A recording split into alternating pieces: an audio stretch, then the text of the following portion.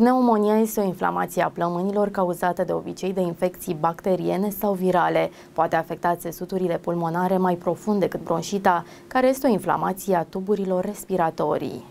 În acest sezon au fost înregistrați germeni respiratori cunoscuți care sunt destul de așteptați pentru această perioadă a anului. Focarele de micoplasma se declanșează la fiecare câțiva ani și pot fi rezistente la antibioticele obișnuite. Majoritatea copiilor și adulților infectați vor prezenta simptome asemănătoare gripei care se vor remite de la sine după câteva zile, însă unele pot evolua spre o inflamație mai gravă a plămânilor, care necesită tratament și în unele cazuri spitalizare. Peste 200 de virusuri pot provoca infecții respiratorii, inclusiv VSR, adenovirusuri, enterovirusuri, rinovirusuri și coronavirusuri. Simptomele pot fi mai grave la tineri atunci când infecții similare nu au mai fost întâlnite anterior. Este nevoie de aproximativ o săptămână pentru ca imunitatea specifică să își dezvolte arsenalul în fața unui nou agent patogen. După ce infecția este eliminată, celulele de memorie rămân pentru a proteja împotriva infecțiilor viitoare. A avea o infecție respiratorie urmată de o alta poate prelungi acest timp de vindecare, ceea ce duce la simptome mai severe și la o boală mai lungă. Acest lucru este resimțit în special de persoanele care suferă de astm, cărora li se recomandă să își facă vaccinul antigripal anual și să evite să prindă infecții sezoniere. Infecțiile care cauzează pneumonie sunt contagioase. Pandemia de COVID-19 a evidențiat sfaturi pentru a evita contractarea unei infecții respiratorii, printre care se numără evitarea contactului cu persoanele infectate, ventilația eficientă, purtarea măștii și igiena mâinilor, relatează adevărul.ro.